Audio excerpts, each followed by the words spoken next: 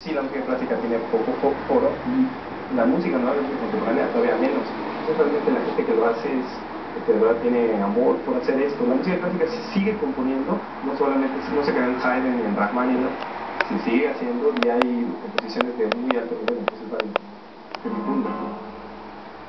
La luna y la muerte es una pieza de extremos, impredecible, una obra muy expresiva y demandante es el fragmento de un concierto originalmente diseñado para piano y orquesta que lleva por título el del poema de Federico García Lorca, escrito en 1919, aunque quizá esa sea la única similitud que comparten.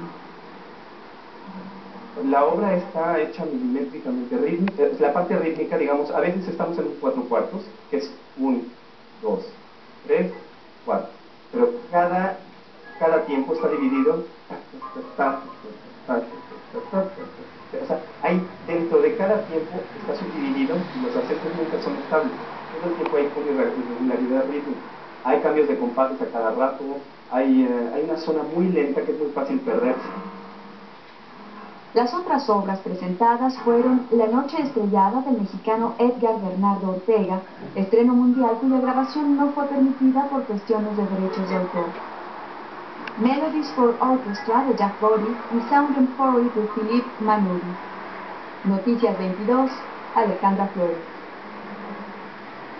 Vamos a abrir por muchísima música este programa de hoy, ¿verdad Laura? De música súper nueva a música no tan nueva, pero envejece. Que no envejece, que sigue presente, que tiene un don de ubicuidad, que lo mismo se interpreta en salas de concierto, que en de jazz, lo escuchamos en bandas sonoras de películas. Josh Jeff, nada menos, la Organización Sinfónica Nacional. Aquí está Carlos Miguel, un momentito.